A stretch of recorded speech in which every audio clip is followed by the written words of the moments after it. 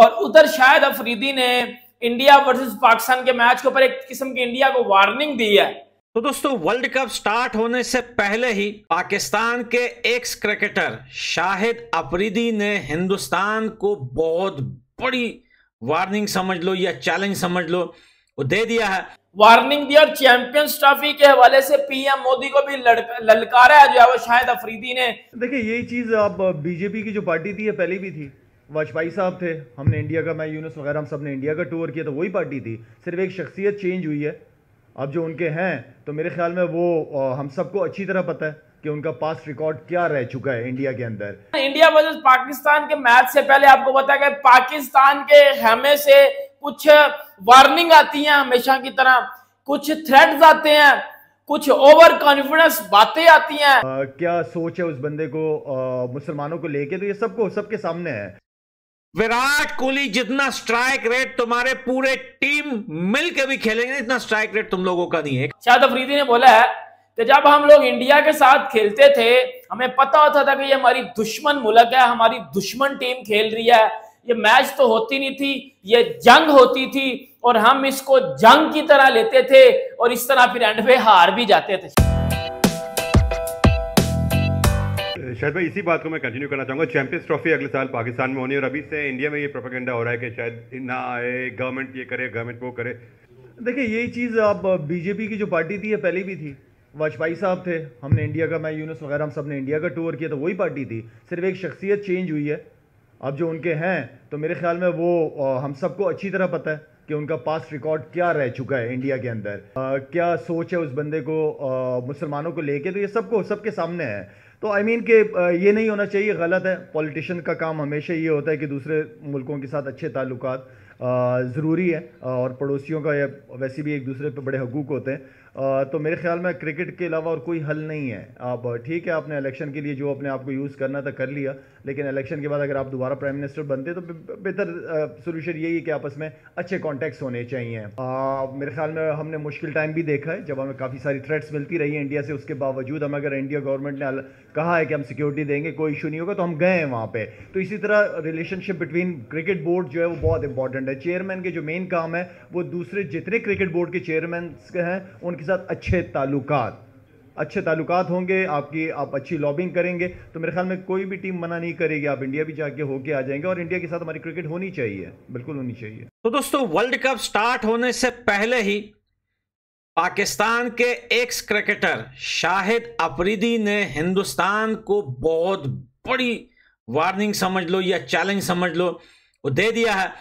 और उसने अपने प्रोडिक्शन में कहा कि इस बार पाकिस्तान वो रिकॉर्ड तोड़ेगा जो उसने आज तक कभी नहीं तोड़ा, यानी कि नाइन ज़ीरो नहीं होगा। उसने कहा, इस बार आठ एक होगा।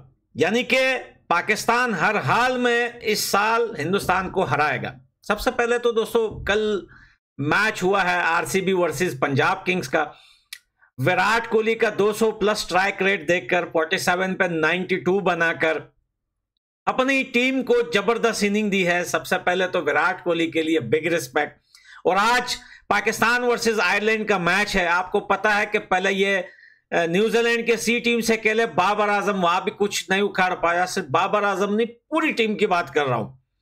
बाबर आज़म को इस वजह से मेंशन करते हैं क्योंकि ये लोग जो बोलते हैं ना कि पाकिस्तान में अगर सबसे अच्छा और बड़ा प्लेयर है ना तो वो बाबर आज़म।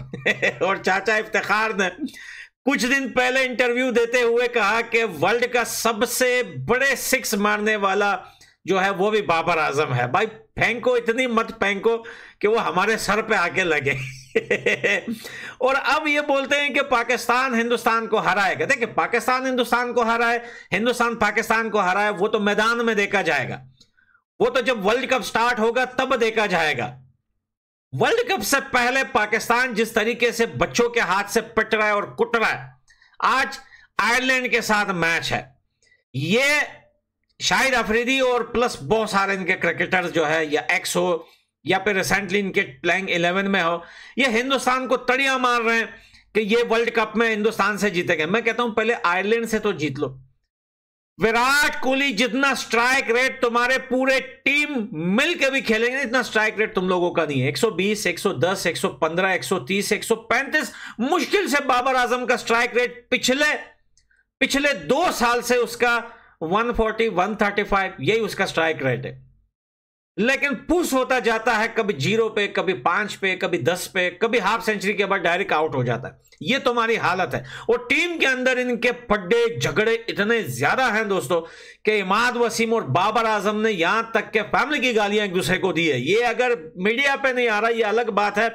लेकिन अंदर की बात बता रहा हूँ कि इमाद वसीम और बाबर आज़म का गजब का पड्डा चल रहा है इस टाइम और अच्छा पूछा कि हसन अली को क्यों वहाँ पर खिला रहे हो? तो कहते हैं कि हसन अली पहले से ही वहाँ पर यूरोप में मौजूद था। इस वजह से हम उसको खिला रहे ताकि एक एक प्लेयर का खर्चा बच जाए।